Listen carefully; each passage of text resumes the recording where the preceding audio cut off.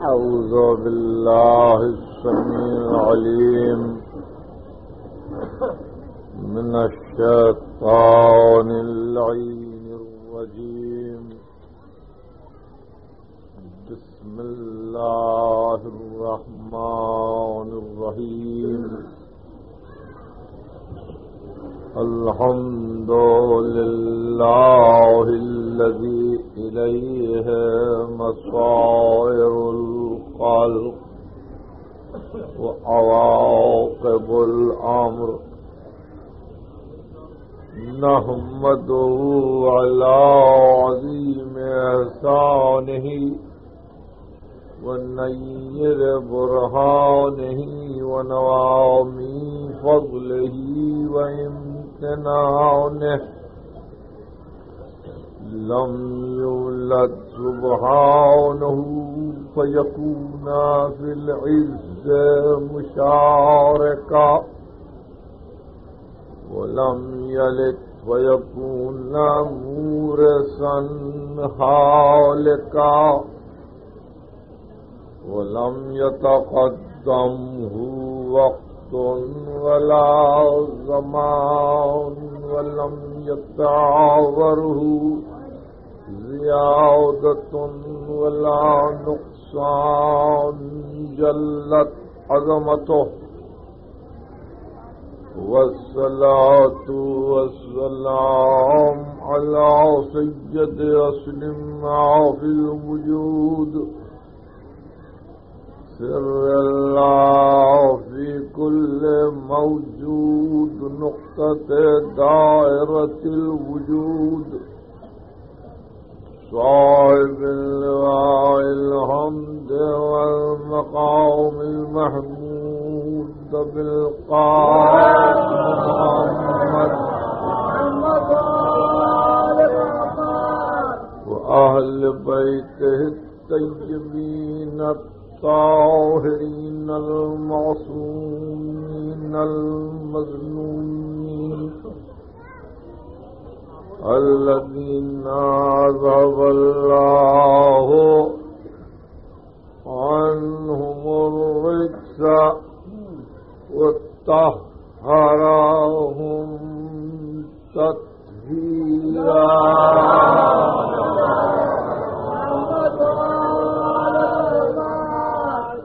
أما بعد فقد قال الله سبحانه وتعالى في محكم كتابه الحكيم ومن يعظم شعائر الله فإنها من تقوى القلوب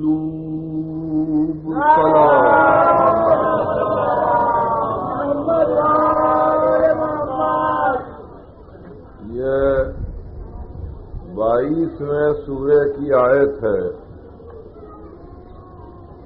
قرآن مجید کا اکیسواں سورہ سورہ انبیاء اور بائیسواں سورہ سورہ حج ہے۔ یہ سورہ حج کی آیت ہے اور اس کا آسان اردو میں ترجمہ یہ ہے، اور جو کوئی عظمت کرے، احترام کرے۔ وہ يعظم شعائر اللہ اللہ کی نشانیوں کا جو کوئی احترام کرے۔ وَإِنَّهَا مِن تَقْوَى الْقُلُوبِ، تو یہ احترام اس کے دل کا تقوا ہے۔ عزیزان گرامی، ہر سال اور اسی طرح معلوم نہیں کتنے سال گزر گئے۔ بانیان مجلس آج انیس سفر کو ایسے دن جبکہ تقریباً آپ کا ہر لمحہ آج مصروفیت کا لمحہ ہے۔ یہ جلوس اور ادا کا اہتمام کرتے ہیں۔ اور اسی طرح سے میں بھی جیسا کہ مجھے یاد پڑتا ہے باوجود اس کے کہ یہ انیسویں سفر میرے لیے بڑی کٹھن منزل ہوتی ہے تقاریر کے اعتبار سے، لیکن میں بھی کوشش کرتا ہوں کہ تبرک جوئی کے لیے اور برکتوں کو حاصل کرنے کے لیے کچھ دیر کے واسطے میں آپ کے ساتھ مل بیٹھوں۔ ظاہر ہے کہ ہمارا طریقہ یہ ہے کہ جب ہم اپنا وقت گزارتے ہیں تو ہم یہ چاہتے ہیں کہ کچھ دیر کے لیے صحیح، تھوڑی دیر کے لیے صحیح جو بھی مصروفیت ہو، اس میں کچھ ہمارے معلومات میں اضافہ ہو۔ ذرا سا ہم کچھ آگے بڑھ جائیں۔ ذرا سا آگے بڑھ جائیں۔ اور اگر نہیں، مجلس نے ہم کو کوئی اضافے کا موقع نہیں دیا اور ہم اضافہ نہ کر سکے تو اس کے معنی یہ ہے کہ ہم نے دل لگا کر یا توجہ کے ساتھ یہ خدمت انجام نہیں دی۔ ایک عجیب بات ہے اور وہ مسئلہ آپ کے سمجھنے کے قابل ہے۔ وہ یہ ہے کہ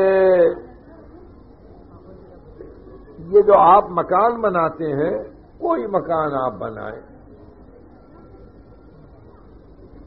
ایسا ہی ایک مکان بنا کے آپ اس کو مسجد کہہ سکتے ہیں۔ ایک مکان ایسے ہی کمروں کا، تین کمروں کا، چار کمروں کا مکان بنائے کہیں مسجد ہے۔ یا جس طرح عیسائی ایک خاص انداز سے اپنی عبادت گاہ بناتے ہیں کہ اس کا ایک مینار مسلس نما ہو اور اس طرح سے بھی آپ بنا سکتے ہیں اور کہیں گے مسجد ہے تو کوئی آپ کو روکنے والا شران نہیں ہے۔ مگر آپ نے اپنی انفرادیت کو الگ رکھنے کے لیے ایک خاص نقشہ اپنے ذہن میں مسجد کا ڈھالا ہے کہ مسجد ایسی ہوگی، مینار ایسے ہوں گے تاکہ کوئی اجنبی آ کر گرجا میں اور مسجد میں فرق کرے۔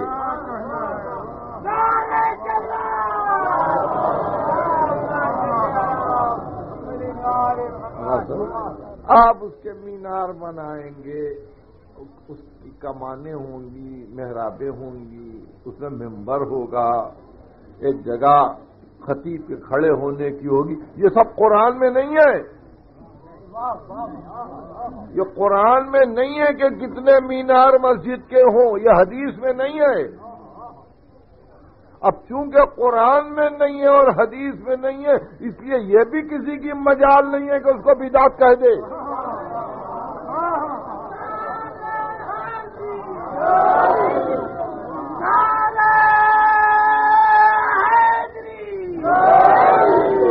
آپ سمجھ لیں آپ نے اپنے پہچان کے لیے اپنے آپ کو پہچانوانے کے لیے آپ نے ایک طریقہ اختیار کیا۔ کہا کہ اس سے پہچانا جائے پہچانا جائے کہ یہاں کون سا فرقہ رہتا ہے۔ ایک گاؤں میں اگر کوئی شخص پہنچے اجنبی اور وہاں دیکھے کہ ایک گرجا نما عمارت ہے اور وہ پوچھے، یہ یقیناً عیسائیوں کی عبادت گاہ ہے؟ تو کوئی صاحب یہ کہہ دیں جی نہیں، یہ مسلمانوں کی مسجد ہے۔ تو کہے گا، نہیں سر، یہ تو ناممکن ہے، ایسا نہیں ہو سکتا۔ مسلمان تو ہمیشہ اپنی انفرادیت کو باقی رکھتا ہے۔ تو اگر اس وقت مسلمان یہ جواب دے، بتائیے انفرادیت قرآن میں کہاں ہے؟ انفرادیت قرآن میں کہاں ہے؟ تو کہے گا، انفرادیت کی ضرورت نہیں ہے۔ اس کو شعار ملت کہتے ہیں۔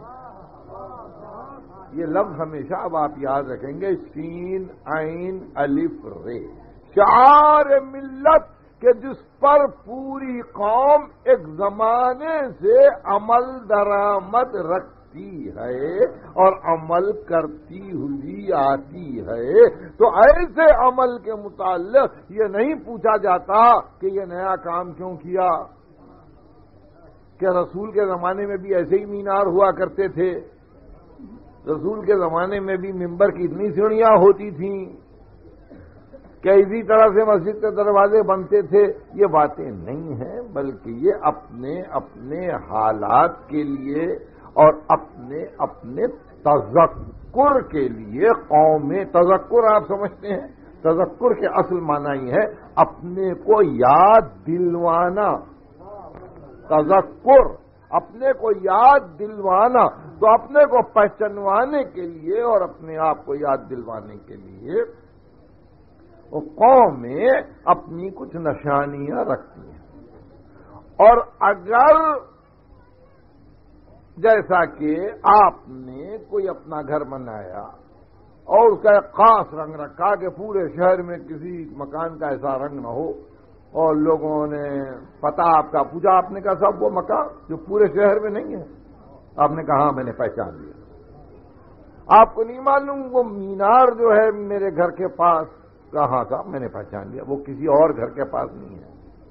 تو آپ نے اپنے آپ کو پہچانوایا اور اگر اسی طرح آپ کسی ایسی نشانی سے دین کو پہچانوائیں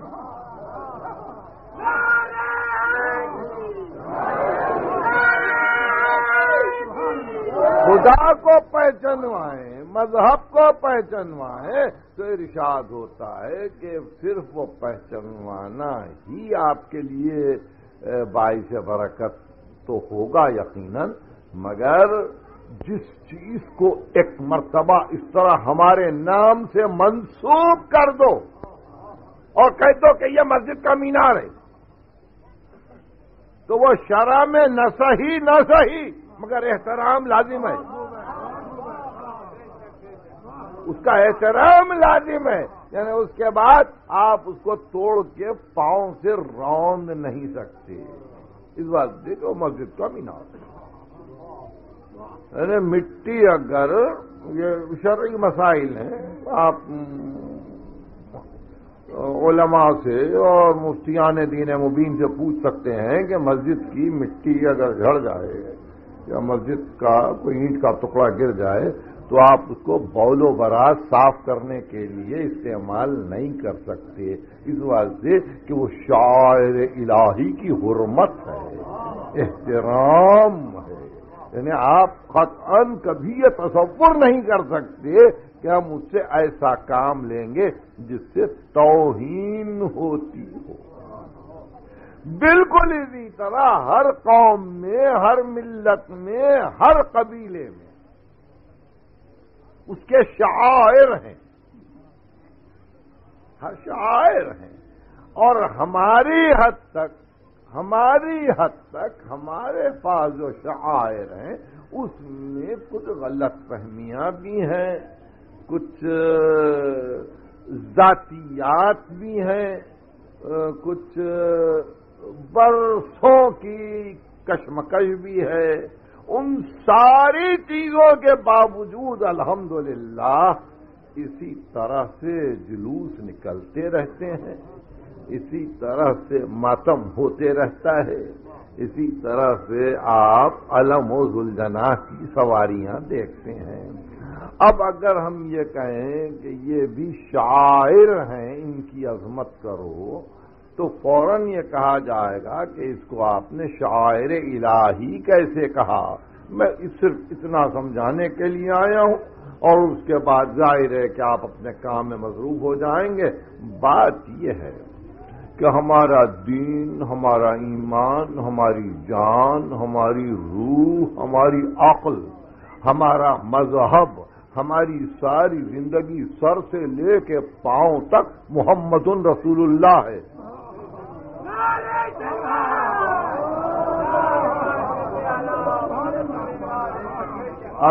یہ مبالغہ نہیں ہے، یہ کوئی تسنو نہیں ہے۔ یا اس گلی میں بیٹھا ہوں اس لیے یہ بات نہیں کر رہا ہوں، کل پٹیل پارک میں بھی یہی گفتگو کروں گا کہ ہماری ساری زندگی محمد الرسول اللہ ہے۔ اور محمد الرسول اللہ کے قیام کے لیے اگر علم کی ضرورت ہے تو وہ شاعر اللہ ہے، اگر ذریع کی ضرورت ہے تو شاعر اللہ ہے، اگر گلجنا کی ضرورت ہے تو شاعر اللہ ہے۔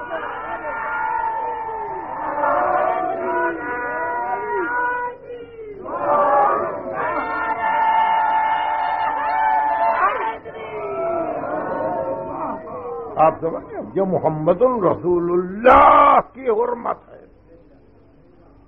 یعنی اس کو فرقواری رنگ دیا جائے تو اور بات ہے۔ ورنہ احترام سرکار رسالت ہے۔ اب آپ صرف یہی پوچھیں گے کہ احترام سرکار رسالت کیسے ہے؟ تو اس کے لیے ایک دن کی بات۔ یعنی میں برسوں کی تاریخ الٹنے کے لیے تو تیار ہی نہیں ہوں ایک دن کی بات۔ سن اکسٹھ ہجری کا محرم محرم کی دسویں۔ سن اکسٹھ کا محرم اور محرم کی دسویں اور دو طاقتیں ٹکرا گئیں۔ ایک طرف شاہی، ایک طرف حسین۔ اب دل تمہارا پکار کے بتلائے، محمد کی طرح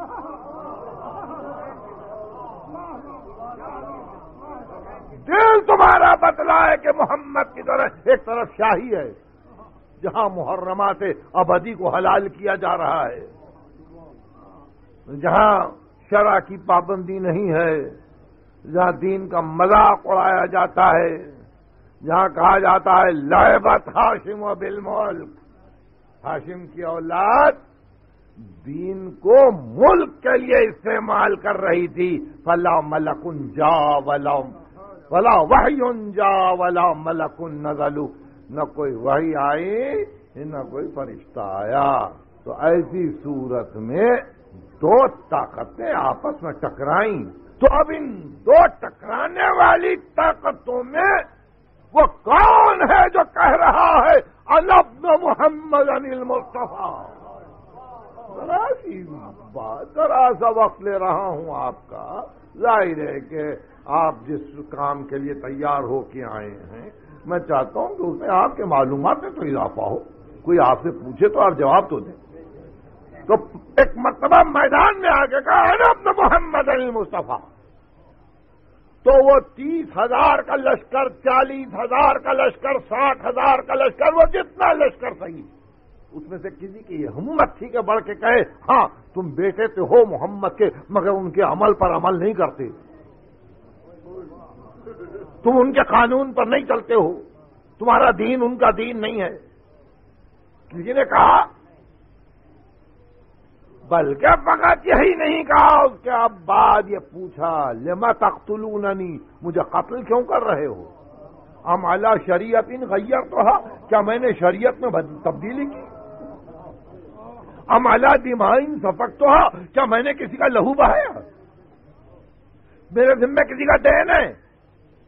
بتاؤ کیا بات ہے؟ تو سبوں نے کہا، حضور، کوئی بات دین بھی وہی ہے، آئین بھی وہی ہے۔ آپ سے بڑھ کے کام رسول مختار کا پابند کون ہے؟ آپ سے بڑھ کر نماز کا قائم کرنے والا کون ہے؟ اشد ان کا قد اقم سلاد ہم گواہی دیتے ہیں، مولا، کہ آپ نے نماز کو قائم کیا۔ وہ آتا ہی تھا زکات اور آپ نے زکات دی۔ مگر کیا کریں؟ حاکم آپ سے بیعت مانگتا ہے۔ تو آپ نے دیکھا، ایک دن کی بات، ایک دن کی تاریخ میں برسوں کی تاریخ نہ الٹواؤں گا، نہ پڑھواؤں گا۔ ایک دن آپ فیصلہ کریں اس دن رسول کس کی طرف ہوں گے۔ اس دن رسول کس کی طرف ہوں گے؟ میں نے وقت لیا۔ میں نے آپ کو ایک دعوت فکر دی اور میں چاہتا ہوں کہ میرا پیغام ہمیشہ آپ یاد رکھیں۔ اب اگر آپ کے سمجھ میں کوئی بات آ جائے اور اگر آپ کسی چیز کو واقعی طور پہ سمجھ جائیں تو اپنے بچوں کو ضرور سمجھائیں۔ اس لیے کہ آنے والی نسل تک اس پیغام کو جانا ہے۔ آنے والی نسل تک اس پیغام کو جانا ہے، اپنے گھر میں سمجھائیں ڈسکس کریں ان مسائل کو اور بتائیں کہ دیکھو، یہ یہ واقعہ ہے، یہ صورتحال ہے۔ تو وہاں ایک دن کا واقعہ، ایک دن کا واقعہ اس کے علاوہ نہیں۔ صبح آشور سے لے کے عصر آشور تک اور چودہ سو برس گزر گئے۔ چودہ سو برس گزر گئے۔ ایسا معلوم ہوتا ہے کہ ابھی وہ واقعہ ہوا۔ ابھی وہ واقعہ ہوا۔ تو رسول کس کی طرف ہے؟ راوی کہتا ہے، خدا کی قسم میں نے دیکھا۔ توجہ سے سنیے۔ دو چار جملے۔ خدا کی قسم میں نے دیکھا کہ جب محرم کی دسویں کا دن تمام ہوا اور شام ہو گئی تو میں نے ایک ضرورت سے یہ چاہا کہ میں نہر تک جاؤں۔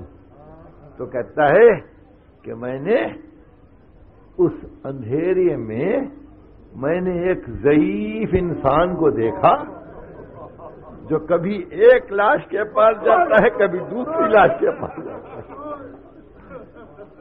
کبھی ایک میت کے پاس کھڑے ہوتا ہے، کبھی دوسری میت۔